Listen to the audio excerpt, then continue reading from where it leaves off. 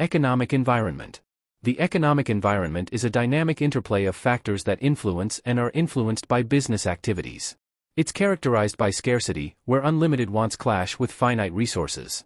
This necessitates choices and decisions, leading to opportunity costs.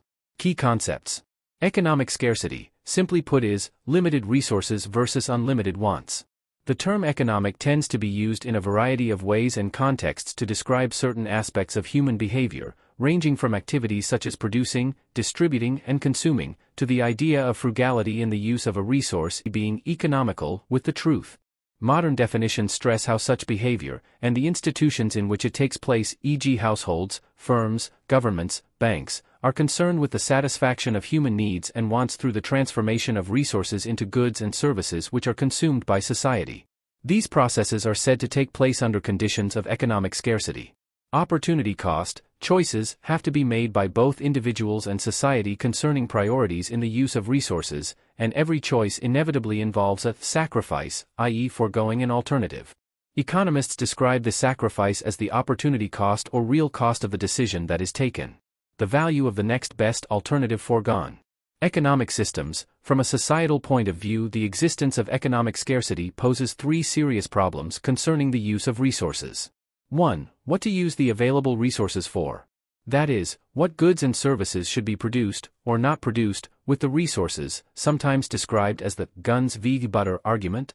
2. How best to use those resources. For example, in what combinations, using what techniques and what methods.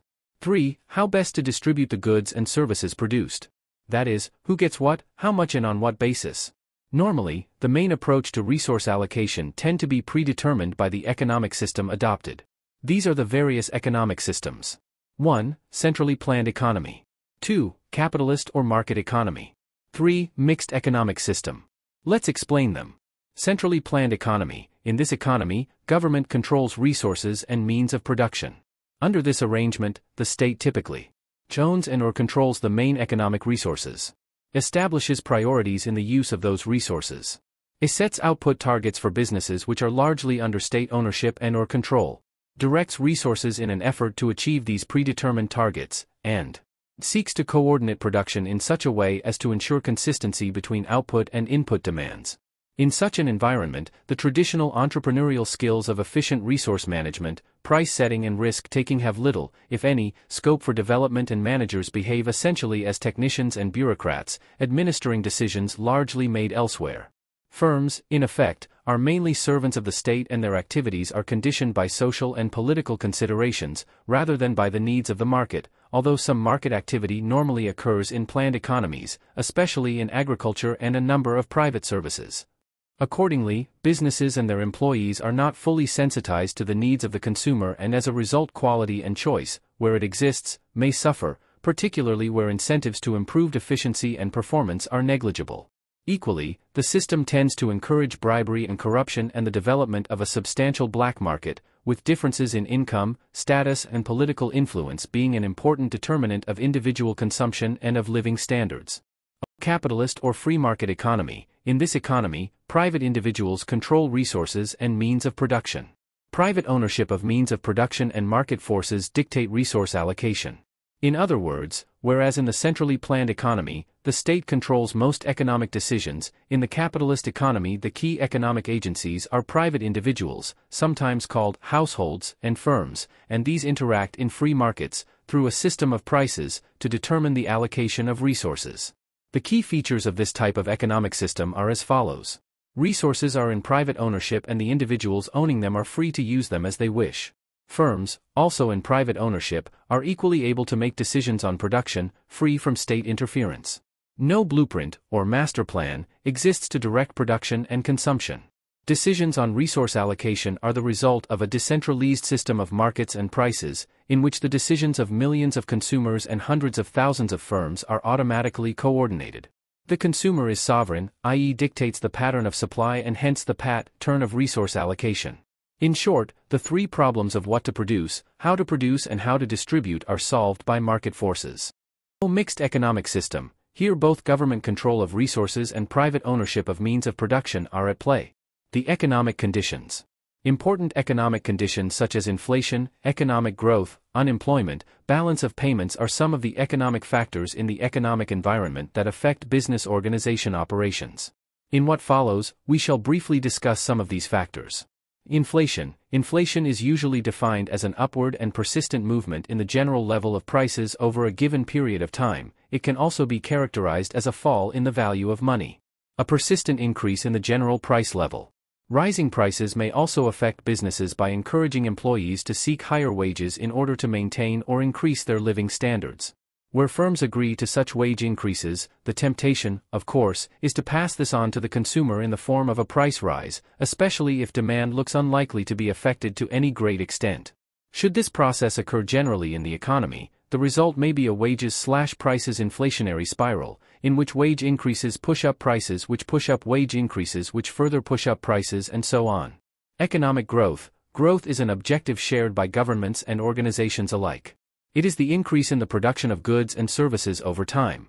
Where growth prospects for the economy look good, business confidence tends to increase, and this is often reflected in increased levels of investment and stock holding and ultimately in levels of employment. Unemployment, this is the portion of the labor force without jobs. As with growth and inflation, unemployment levels tend to be measured at regular intervals, e.g., monthly, quarterly, annually, and the figures are often adjusted to take into account seasonal influences, e.g., school leavers entering the job market. In addition, the statistics usually provide information on trends in long term unemployment, areas of skill shortage, and on international comparisons, as well as sectoral changes within the economy. All of these indicators provide clues to the current state of the economy and to the prospects for businesses. Balance of payments A country's balance of payments is essentially the net balance of credits, earnings, and debits, payments, arising from its international trade over a given period of time. That is, the record of a country's transactions with the rest of the world. Where credits exceed debits, a balance of payments surplus exists, the opposite is described as a deficit. Understandably, governments tend to prefer either equilibrium in the balance of payments or surpluses, rather than deficits. Particular emphasis tends to be given to the balance of payments on current account, which measures imports and exports of goods and services and is thus seen as an indicator of the competitiveness of an economy's firms and industries. Sustained current account surpluses tend to suggest favorable trading conditions, which can help to boost growth, increase employment and investment, and create a general feeling of confidence amongst the business community. Public borrowing, governments borrowing to finance deficits. The overriding concern over high levels of public borrowing tends to be focused on 1. Its impact on interest rates, given that higher interest rates tend to be needed to attract funds from private sector uses to public sector uses. 2. The impact of high interest rates on consumption and investment and hence on the prospects of businesses. 3. The danger of the public sector crowding out the private sector's search for funds for investment. 4 the opportunity cost of debt interest, especially in terms of other forms of public spending. 5. The general lack of confidence in the markets about the government's ability to control the economy and the likely effect this might have on inflation, growth, and the balance of payments. A stable exchange rate, the value of one currency relative to another. A country's currency has two values, an internal value and an external value. Internally, its value is expressed in terms of the goods and services it can buy and hence it is affected by changes in domestic prices. Externally, its value is expressed as an exchange rate which governs how much of another country's currency it can purchase, e.g., 1 pound equals $2 or $1 equals N1, 400. To this extent, schemes which seek to fix exchange rates within predetermined levels tend to have the support of the business community, which prefers predictability to uncertainty where trading conditions are concerned. Government policies. A fiscal policy are government's use of spending and taxation to influence the economy. Monetary policy are central banks' actions to manage interest rates and money supply. Role of financial institutions. Financial institutions facilitate the flow of funds between lenders and borrowers, playing a crucial role in economic activity. Like banks, investment firms, and insurance companies channel savings into investments, providing capital for businesses. In the case of financial markets, the stock exchanges and bond markets facilitate capital formation and risk management. The economic environment is complex and ever changing. Economic factors affect the ability of business to meet its objectives. Businesses prosper during good economic conditions while poor economic conditions hinder their activities. The nature of economic system adopted, the quality of monetary and fiscal policies affects the growth and development of business organizations. Understanding its key components is essential for businesses to make informed decisions and thrive. Technological environment. Various external factors can impact the ability of a business or investment to achieve its strategic goals and objectives. External factors in technology impact business operations. Changes in technology affect how a company will do business. A business may have to dramatically change their operating strategy as a result of changes in the technological environment. Technology is defined as the sum of knowledge of the means and methods of producing goods and services, Penguin Dictionary of Economics. It is increasingly science based, encompassing things like chemistry, physics, and electronics, and refers to the organization of production as well as the actual techniques of production itself. Technological change leads to the introduction of new products, changes in the methods and organization of production, changes in the quality of resources and products, new ways of distributing the product, and new ways of storing and disseminating information. Let's discuss technological change and its impact on business and, by extension, the economy. In the past decade, technology has undergone profound transformations, reshaping both existing businesses and creating new industries. Let's explore several key advancements and their implications. Information technology. Advances in information technology have revolutionized business operations, enabling efficient data collection, analysis, and transmission. From enhanced computer-aided design, CAD, facilitating product innovation, this is the process of digitally creating design simulations of real-world goods and products in 2D or 3D, complete with scale, precision, and physics properties, to optimize and perfect the design, often in a collaborative manner, before manufacturing. Information technology has also streamlined administration through computerized systems, of course facilitating businesses to adapt to new technological landscapes. Communication has also evolved with tools like email, mobile phones, and video conferencing, allowing for global connectivity and remote work capabilities. Other technological developments. Beyond IT, emerging fields like biotechnology and new materials have catalyzed further innovation. These sectors are pivotal in enhancing product development cycles and profitability across various industries. Additionally, advancements in energy technologies, such as superconductors and solar energy, promise sustainable solutions for future energy needs. Technology and investment. In economics, capital has a special meaning, it refers to all man made resources which are used in production. Capital is usually divided into working capital and fixed capital. Working capital consists of the stocks of raw materials and components used in producing things. Fixed capital consists of buildings, plant, and machinery. The main difference between the two is that fixed capital gives a flow of services over a long period of time, while working capital needs to be replaced on a regular basis. Because of its nature, working capital is much more mobile than fixed capital, that is, it can be used for other purposes much more easily. Capital is a stock of goods used in the production process, a stock which is continually being used and therefore needing to be replaced. This stock provides a flow of services for the production process. Capital includes a wide diversity of items, including factory premises, machinery, raw materials in stock, transport vehicles, and partly finished goods. As well as these, there is what is often called social capital, which refers to capital that is owned by the community such as schools and hospitals. There is also spending on the infrastructure, which is important to all businesses rather than being linked to one particular business. The main components of this are transport, energy, water, and information. The transportation system is obviously very important to any economy. Road, rail, air, and water are used to transport goods, services, and raw materials. The same is true for energy and water. The information distribution system is also part of the infrastructure and would include telephone systems and the post. The increase in the stock of capital over time is called investment. Investment will serve to increase the productive potential of the firm and the economy. Investment usually refers to the purchase of new assets, as the purchase of second-hand assets merely represents a change in ownership and therefore does not represent a change in productive potential. Investment is important for the firm as it is a mechanism for growth, it is an integral part of the innovation process and can have disastrous results for a firm if an investment goes wrong. Generally, the higher the level of investment in a country, the higher will be the level of economic growth. Capital investment plays a crucial role in integrating technological advancements into production processes. There is an important relationship between investment and technological change which runs in both directions.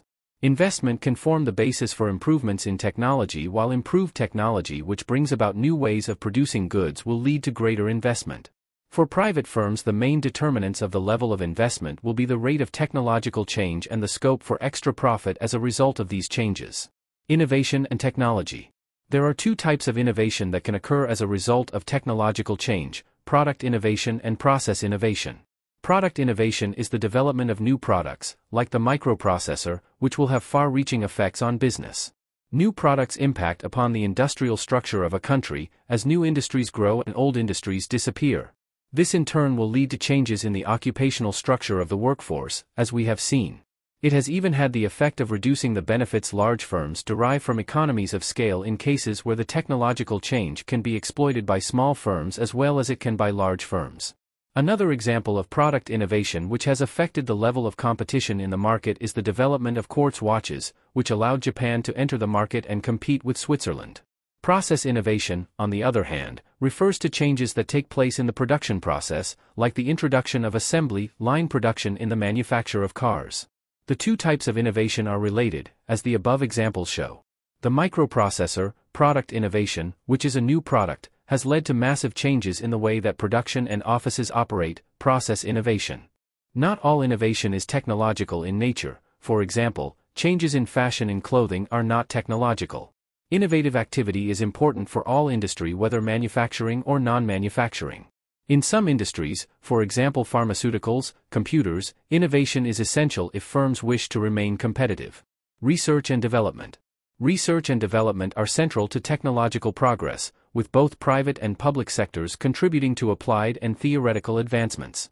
Research and development investments aim to develop new products and improve existing ones, bolstering technological capabilities and market competitiveness. Limits to technological change. While technological advancements offer substantial benefits, they also pose challenges. Issues such as environmental impact and unemployment in declining industries require strategic management and policy interventions. Balancing technological growth with sustainability and social impact is critical for long-term economic stability. In summary therefore, the integration of advanced technologies is imperative for business survival and growth. By embracing and innovating with new technologies, businesses can enhance efficiency, reduce costs, and improve product quality, thereby ensuring sustainable competitive advantages in global markets. Technological advances are catalysts for innovation, offering new products, efficient production methods, and enhanced management tools. Embracing technology through research and development is pivotal for organizational success and adaptation to evolving market dynamics. If you have learned from these videos, click the notification button. Please give it a thumbs up so that others can see it or will see it. Always remember to subscribe if you have not done so. Until next time, keep learning.